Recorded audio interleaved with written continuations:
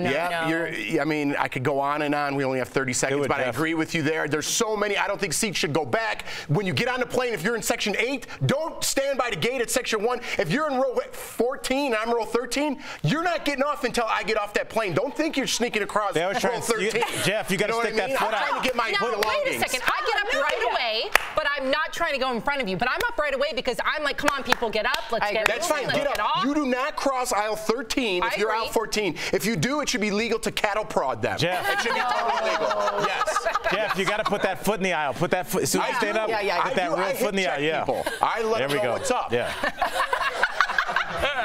Do you It's not a game. It's I not a had game. cattle prod, it'd be yes. I would-